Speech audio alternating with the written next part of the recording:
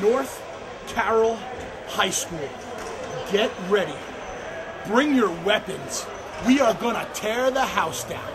Team 3D live and in your face and putting somebody's ass through a table. the best tag team is coming to town.